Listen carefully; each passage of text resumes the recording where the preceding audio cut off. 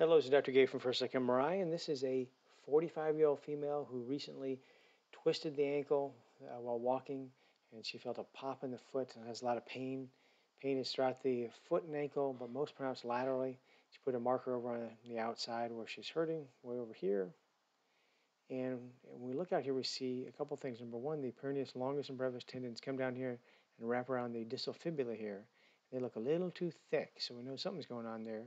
There's fluid in the tendon sheath here, the peroneus tendon sheath.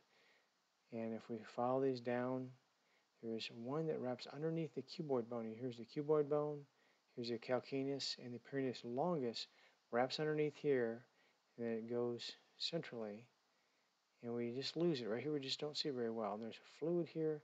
Something looks very unusual here, but this is the peroneus longus tendon, and it is torn. Difficult to appreciate on the sagittal images. The patient has lots of other findings here throughout the midfoot, lots of arthritis and oh, inflammation throughout her sinus tarsi.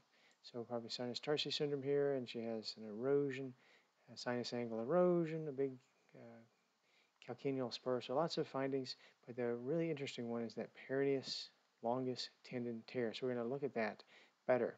Here it looks like it's torn, or partially torn at least, and it's odd that it has this brightness up here, but this is related to redundancy and maybe even some partial tearing or strain of the uh, proximal peroneus longus tendon here.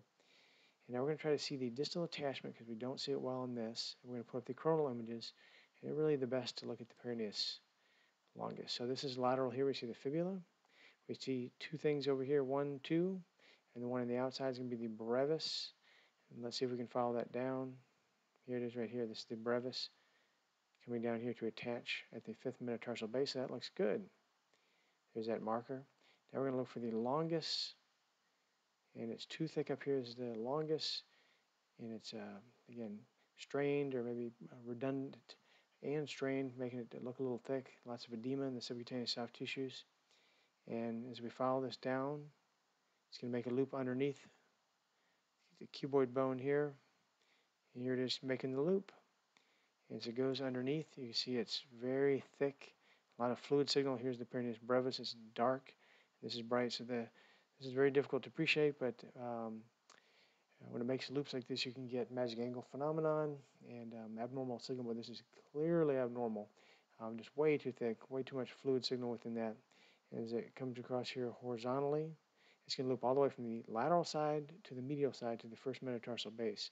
So here it's starting to make its loop underneath, now it's horizontal, and then we just lose it. So it's, this is the torn end about right here, and there is a fluid-filled gap that goes from here over to where it attaches right here. This is the first metatarsal base, so somewhere in this region it's going to attach. There's maybe a little stump of a tendon, but there's a fluid-filled tendon gap related to a ruptured and mildly retracted peroneus longus tendon. And this is very rare, don't see hardly any of these.